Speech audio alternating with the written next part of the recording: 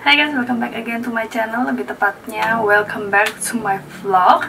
Karena sudah sekian lama aku nggak ngevlog Dan hari ini aku mau ajak kalian untuk ke suatu tempat uh, Untuk over rambutku yang udah super berantakan sama violet banget ini. Karena udah sempet bosen juga Jadi aku berencana untuk mengganti atau membenarkannya lah paling enggak Cuman kalau kalian penasaran, nanti kalian bisa ikutin aku terus sampai uh, vlog ini berakhir. Terus, uh, oh ya, aku pakai makeup di sini juga ya super natural karena kayaknya aku akan menghabiskan waktuku di salon. Jadi nggak pakai false lashes, nggak pakai eyeliner, bener-bener kayak cuma natural aja karena bakal capek banget kayaknya. Abis ini aku akan langsung jalan. Aku mungkin nggak akan ngevlog di perjalanan karena aku akan nyetir sendiri hari ini. So ya, sampai di tempat sana aku akan kasih lihat lagi kayak apa.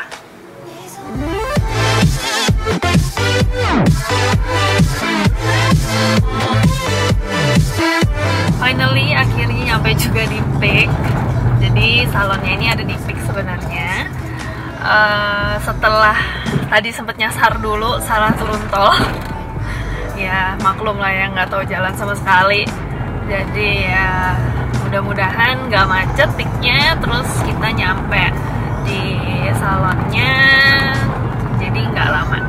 oh finally I'm here. Jadi aku akan uh, apa memake over rambutku di Tony and Guy.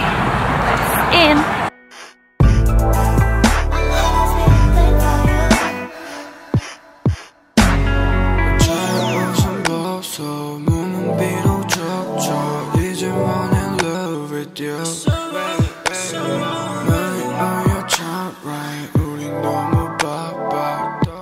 Jadi ini tampilan rambutku sebelum di makeover.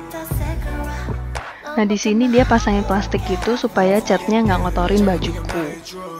Lalu aku langsung masuk ke step yang pertama yaitu membleaching rambutku yang warnanya hitam karena nanti aku mau ngecat warna yang agak terang jadi aku harus melunturkan warna hitamnya dengan cara membleaching.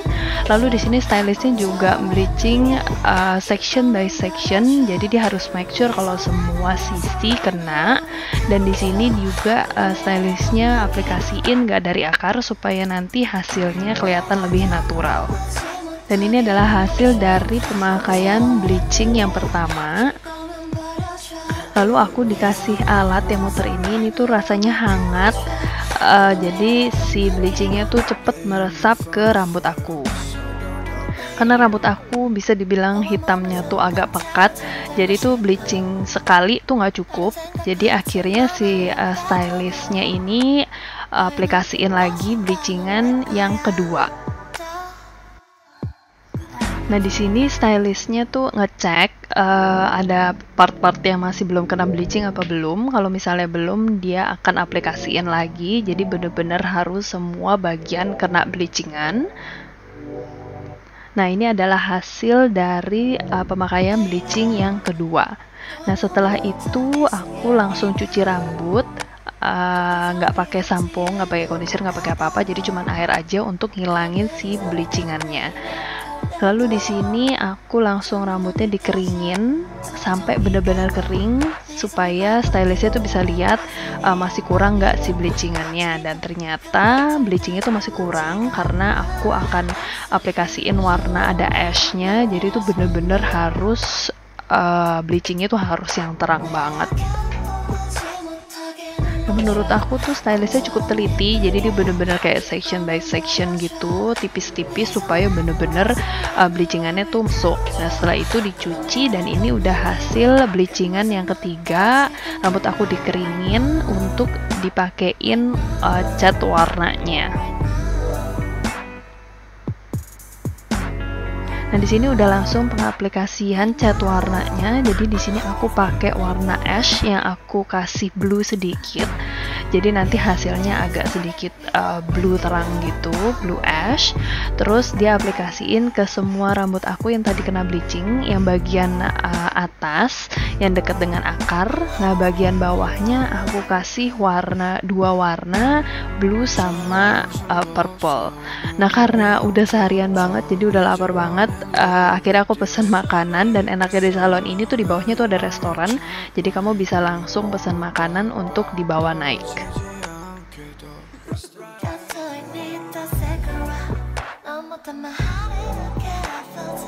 Jadi ini dia hasilnya setelah pengecatan semua warnanya Udah dari atas sampai bawah. Lalu kita langsung cuci rambut dan ini hasil yang sudah di blow. So thank you so much yang udah nonton. Don't forget to click thumbs up dan uh, subscribe my channel. And yeah see you on my next video. Bye bye